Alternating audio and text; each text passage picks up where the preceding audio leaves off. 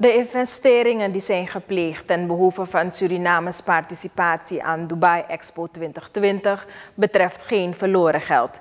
Dit benadrukt minister Albert Ramdin van Buitenlandse Zaken, International Business en Internationale Samenwerking. Volgens hem heeft Suriname een onvergetelijke indruk achtergelaten gezien de verslagen van personen die de expo onlangs hebben bezocht.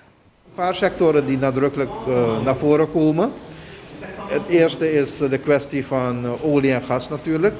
Daar bestaat wereldwijd interesse voor nu. Um, daarnaast op het stuk van voedselveiligheid en waterveiligheid, dat is er bijgekomen.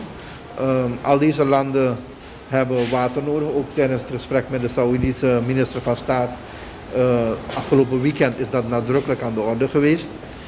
Um, en dan denken we dat wanneer we dit soort zaken ontwikkelen, olie en gas en agrarische sector in ruime zin, dan, en dan praat je ook over uh, veeteelt, dat we meer aandacht krijgen en dat we ook een stukje toerisme kunnen ontwikkelen. En toerisme is belangrijk omdat het korte termijn winsten oplevert. De bewindsman geeft verder aan dat er aandacht is voor voedsel- en waterveiligheid.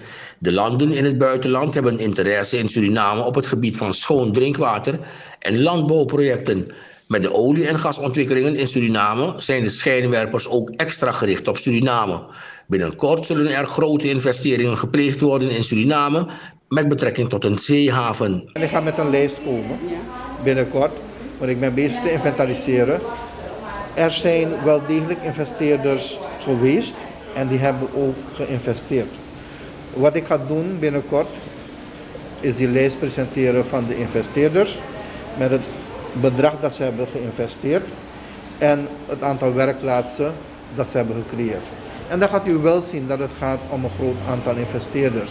Ondanks de economische crisis zijn er nog investeerders geïnteresseerd in Suriname.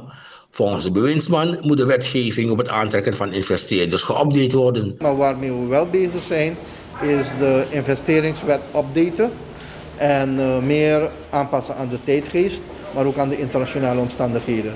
En daarmee is uh, meneer Roy Reiger bezig en we wachten op zijn eerste draft.